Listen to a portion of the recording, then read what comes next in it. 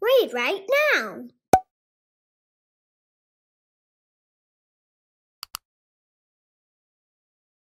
If We Were Gone Imagining the World Without People by John Coy.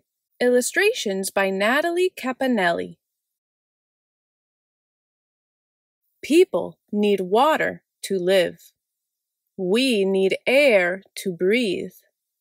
We need plants to survive. But do they need us?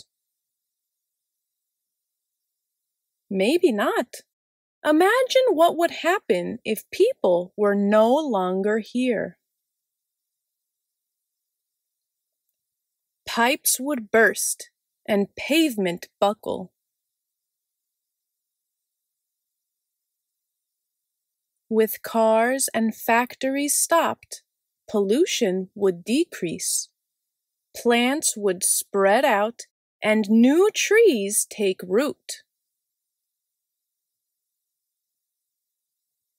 Without electricity for pumps, water would flood, roofs would leak, and houses and buildings collapse.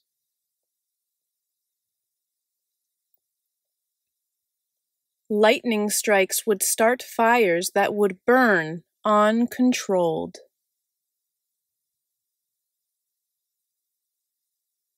Around the world, things would break down. Schools, stadiums, books, computers.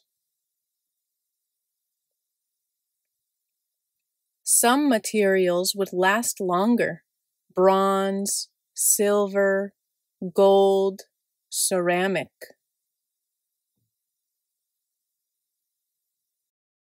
But bit by bit, year by year, what humans made would fade. Water would find its own level and carve out new channels. The air would become cleaner with each rainfall.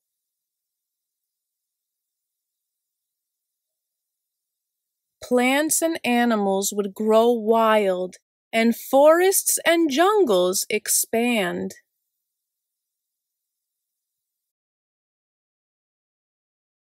Does air need us? No. Do plants need us? No.